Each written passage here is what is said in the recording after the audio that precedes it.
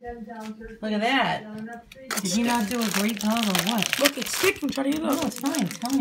It doesn't stick. Look, it didn't stick here. You're fine. Try to get this No, up. it doesn't stick. You don't have to take it out. Oh, uh-huh. I know. That looks great. Good job. From scratch.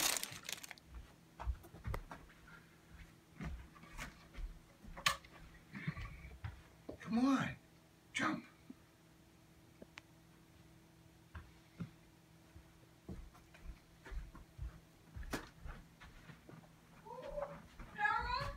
He's playing with Papa back and forth all around. Get him, babes.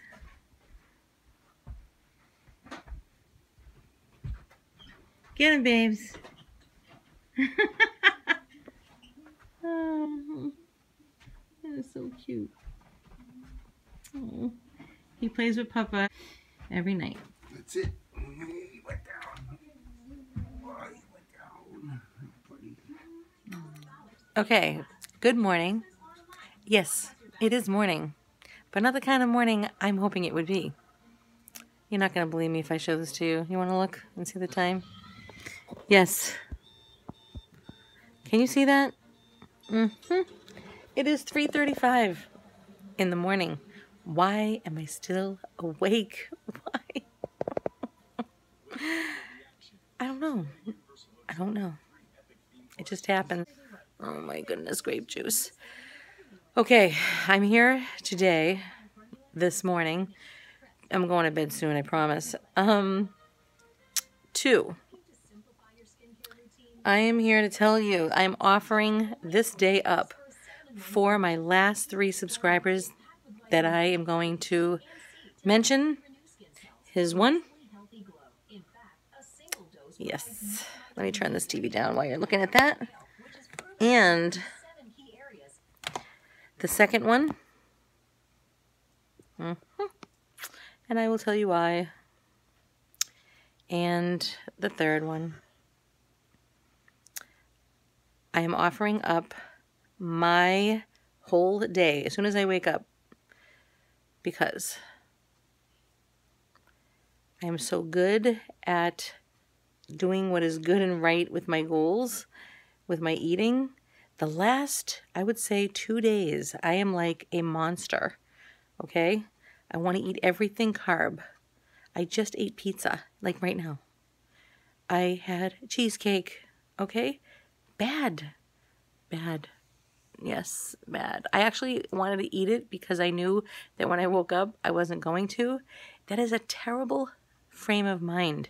It is a terrible thought process. And it's not cool. It's not okay. It's not me.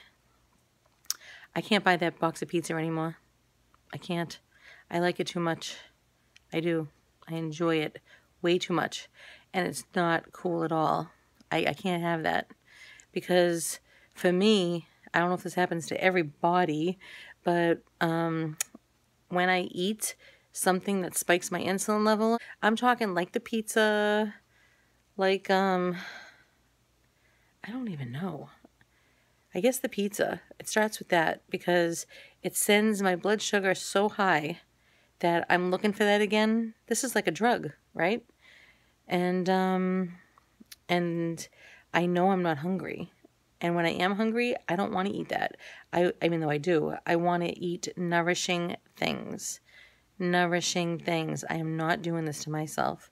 So for the next I have gone through all my subscribers um, the ones that let themselves known. The ones that don't let yourselves known, I'm sorry. I still pray for you every day and every Sunday. I absolutely do. So, but I have three more, my last three. So thank you very much for giving me the strength. Uh, and I pray that God gives you your heart's desire on this day um, and the grace that you need to fulfill His will, His holy will. All right, let me go watch a 600 pound life and be encouraged. And I'll see you in the morning. Bright and shiny. Well, all right. I'll rise, but I'm not going to be shining. Oh, please pray for me. I know I'll be okay. I just don't like this. I shouldn't be eating cheesecake that's got the nasty sugar in it. Um, I should not be eating pizza like this. I don't want to. I don't want to, even though I want to. but I'll be all right. Just please pray for me. Thank you. Did I tell you that I wanted to give up? I wanted to offer the three subscribers so that my job for the day is to only eat when I am actually physically hungry, not emotionally hungry, not because my insulin level has spiked so high, but just even if it takes, I mean, if I ate at three o'clock in the morning, I'm probably not going to get hungry till like tomorrow night or tonight. So, only when I'm truly hungry. And I will do that until I fall asleep again. Okay? In the night. So that is it. It may just be one meal, two meals. Why is this important? Why is this a big deal? Because I have a problem with food. Absolutely. But I have had such great, virtuous um, victories over it in the last year.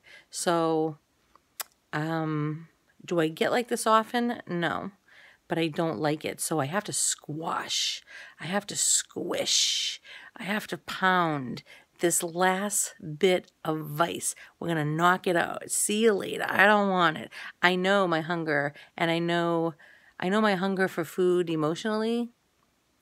Um and there's really nothing even happening. It's just because I feel like it. I think it's the, the spiking of the blood, the the drug attitude. So, um, yeah, once I get rolling on that, I, I'm like a train, you know, so I really don't want to be like that. So, because I've been so, I'm so proud of myself. And if you are at all working on it and you fail, don't worry. Keep picking yourself up. You'll have your great days, and then some. Sometimes you'll have your bad days. Uh, maybe sometimes more than you would like. But every time you get yourself back up, even when you fail again, you have succeeded that much more. So please be patient with yourself. Okay, let's do it. Oh man. Uh, all right. This is how sumo wrestlers get as big as they are. They eat and then they go to bed. oh boy. Ah, you can do this, Lisa. It's a piece of keto cake. Mm. Oh, keto cake.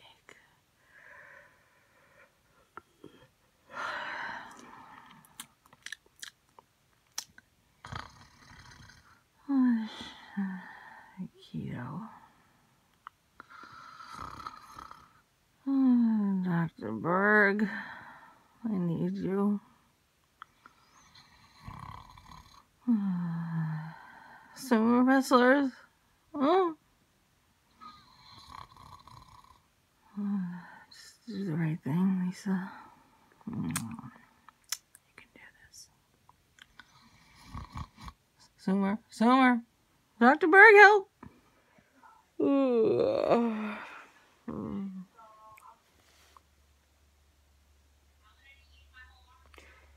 Is it safe?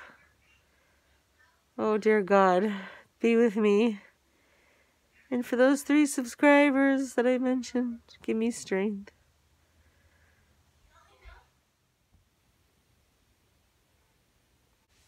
Father and Son, Holy Ghost, Amen. I love you, God. I love you. Thank you for another day. Yay. Thank you for another day on this earth so that I can be with my family. Thank you for another day. Thank you for dying for all of us on the cross.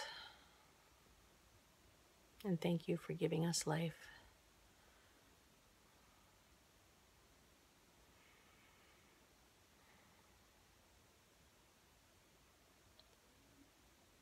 Pray for my husband that he can be the best man that you have created him to be. I pray that he gets closer to the church and that he has a heart of flesh and not a heart of stone, and that he be a great servant of you, a love for Our Lady and all the angels and saints and Holy Mother of the Church. I pray that he could be a great husband and a great father, even more, And I pray for me that I can be the best that I can be and do your will.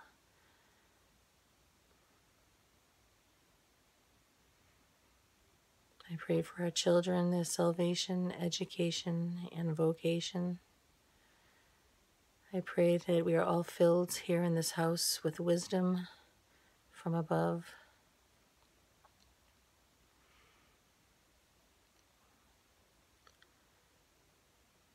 Pray for the children that they do your will, that they desire to be great saints. And I pray that only things that you want in our lives today, Lord, let your will be done in our lives. Nothing more, nothing less. I hand you over my entire family and only let your will be done in our lives.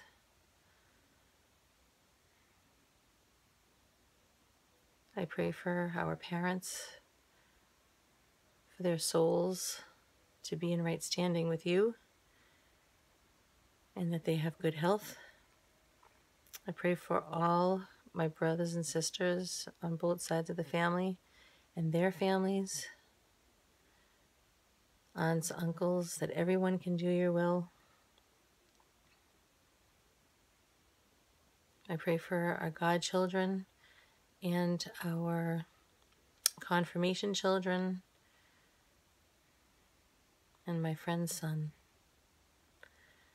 I pray for our good friends and their families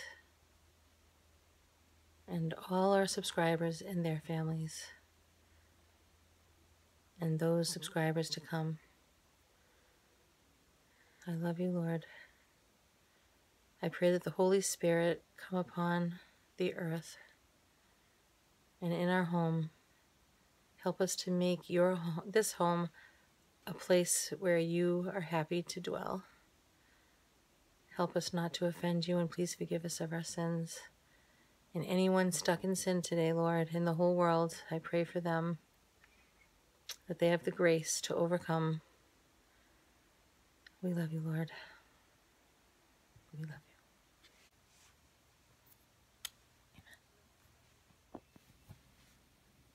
Thank you. Thank you for waiting for me. You've been waiting a long time, huh? Oh, I just love you. No, come here. Oh.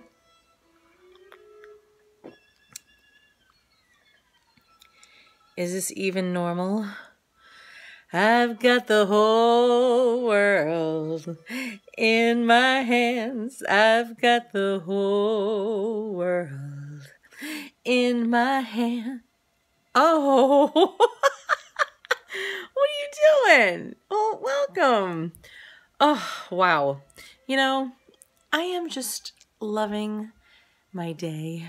I am. Remember I went to bed so late? Well, okay. Well, I think it was about 10:30. I was awake early in that, laying there and laying there and laying there and I'm just like all right, my will wants to get up. Now you say that to working folks, right? You're all out there working, but I work too. I just work different shifts, different hours, mm-hmm. right? So yeah, and now it is quarter past two in the afternoon. Got lots and lots of things done. the only thing I didn't do was pray with the kids. That's terrible. I need to do that. What am I crazy? Now listen, I know. Come here, come here, come here. It's okay. Don't be afraid. I know that you are a light in my life. Oh, yes, you are. Come here. Yes, and I know how much you mean to me. But I have to get the kids' prayers going. Come on. Mm. You know why I like you so much? I'm going to tell you right now. You ready? Because you are so good to me. Yes, you are. And you are faithful. You show up every day. Yes, you are always there for me. And you lift my spirits. Yes, you do. Wonderful, wonderful. So before I get into, are they going to ask me to cook though if I have them come down? In the name of the Father and the Son and the Holy Ghost, amen. Oh my God, I give you all my prayers, works, and sufferings So you will attach them to the Sacred Heart of Jesus in the holy sacrifice of the Mass everywhere around the world today. I thank you for everything you give me today. I'm sorry for offending you. I ask you to please bless me today and for all eternity. Help me to please you and Holy Mother the Church for the conversion of sinners and for the relief of the poor souls in purgatory. I wish to gain all the indulgences attached to the prayers I shall say and the good works I shall perform this day. Come, Holy Spirit, fill my heart, mind. Come here, come here. Come, Holy Spirit, fill my heart, mind, body, and soul, that I may be pleasing to God. In the name of the Father, and the Son, and the Holy Ghost. Amen. Okay, this is out of the new St. Joseph Baltimore Catechism of the Catholic Church. And today we're on chapter 10. Here's a nice picture. Okay, the Holy Spirit gives the strength to carry our crosses. So every day you're going to have to carry your own cross, kind of like what you're going through now. All right? And the Holy Spirit will give you the strength to do that. So today we're talking about the virtues and gifts of the Holy Spirit. So Sarah, it's your turn to find Romans chapter 8, okay? Hmm. We read in the Holy Bible, whoever are led by the Spirit of God, they are sons of God. Okay? But if we are sons, we are heirs also. We receive the rights of sons. Heirs indeed of God, and joint heirs with Christ, provided, however, we suffer with him that we may also be glorified with him. So we are going to suffer, period. Carry your cross every day. And if you have the Holy Spirit, then you will be able to do that. So, it was wonderful. Because my oldest daughter, I have a 15 year old, we were sitting together for a very long time. So even though we were upstairs still, um, sharing those moments in listening to your children, like really listening to what they're saying, not just in passing, but really listening and giving good advice and hearing their opinions and thoughts and encouraging them and, and you know you're laughing. And these are important. This is so important right? So i thought what a blessing. And then she would leave and then she would come back and she would leave and come back and do this here. And we just talked for like so long. And i thought what a gift. What a gift you know? I get to have my kids. So she's not working in books but she's working in her life and she's learning how to be a decent human being by discussion and critical thinking and you know how to love really right? Isn't that the best ever? And then i had my 10 year old sarah work in her books just about two of them for now two or three maybe two. And we'll work more later. But you know it was nice because we were we were talking upstairs before we came down sarah and i my 10 year old how you know, organization does save time, you know, and we had gone through all her clothes and the other day and we got rid of bags of, of clothes that you know were just overloading and then clothes were everywhere. They were like piled on top of the the dresser over here and then over there. There was like no room for them. So um you know and then she she found herself ready to just put the clothes like on the floor. And she went, No, what am I doing? And I said, See, I said, a little, this is a perfect example of a little goes a long way, right? You keep your clothes nice in the moment. And the next time you come in, you feel good about your space and it's easy to find things. To me, these are lessons in life, right? Now, could you go to school all day long and still learn that? Absolutely. I'm sure there's some really neat kids, you know? Um, but I enjoyed the fact that we had a ton of time to do it and to talk and laugh. And, you know, I'm showing her, like, okay, here's your little uh, shower cap. I'm going to put it over here. This is a little area for you in the bathroom. And she's like, oh, thank you. So we're, we're both being polite to each other and taking our time and, and staying organized. And it just felt so heavenly. You know what I mean? And then my son, my son, you know, I had him do, um, I'm not sure if he did his math all the way uh, math. The funny thing about math is that he can whip out numbers like that and equations like the answers to them in a heartbeat. And me and he's he says to me you're, you can't figure that out. You're still you need you need paper. You still you're still you can't do that. And i'm like no. And that's okay. So and i'm proud of it. What are you gonna do?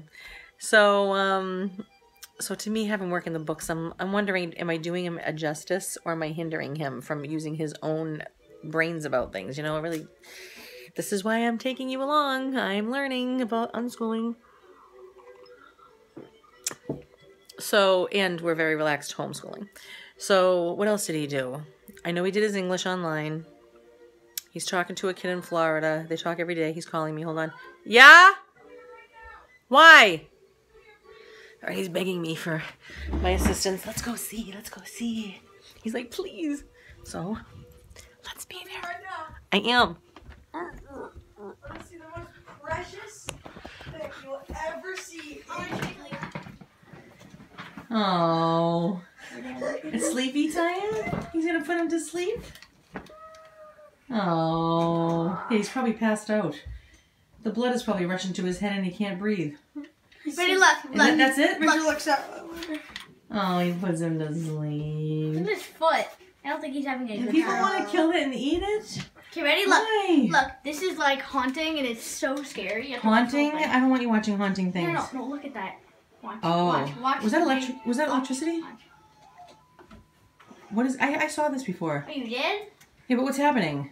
It, it got it got struck by lightning and it fell. Oh, do you see the lightning there?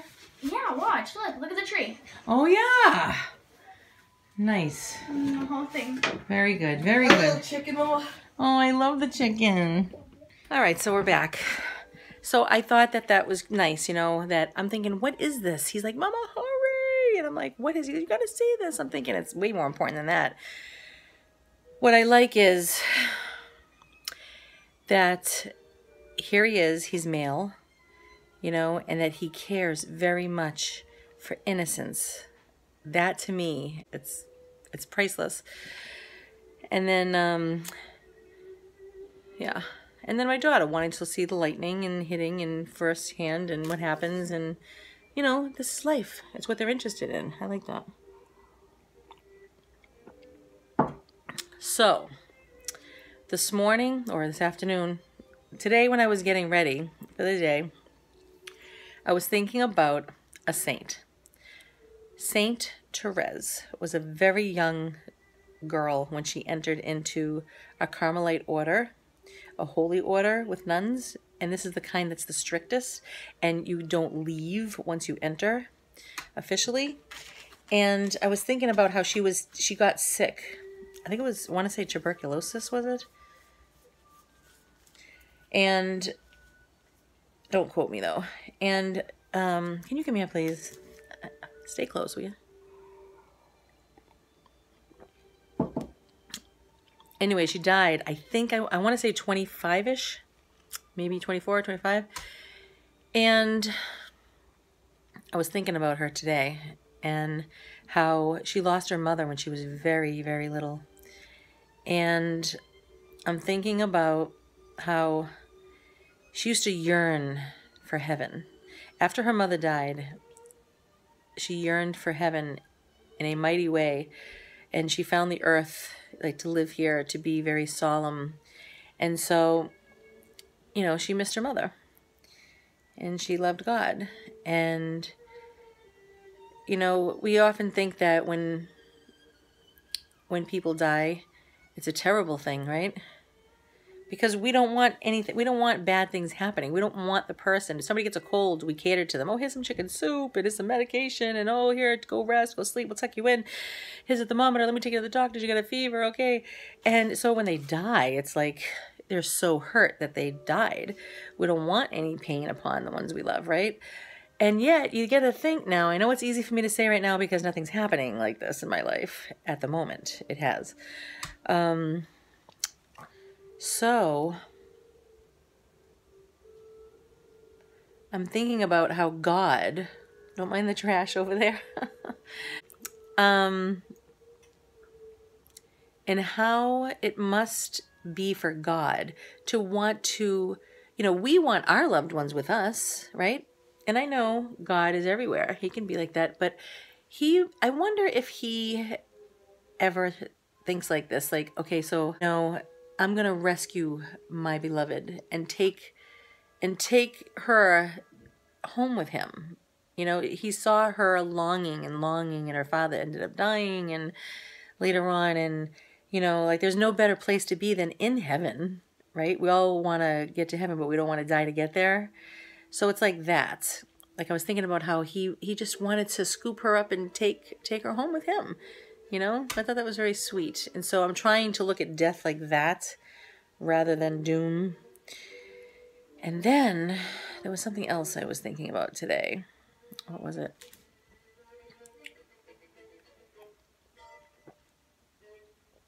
My friend gave me that. Isn't that cute? Oh, let me see. You can't even read it, can you? Yep, don't forget that, Joanne. don't forget about me.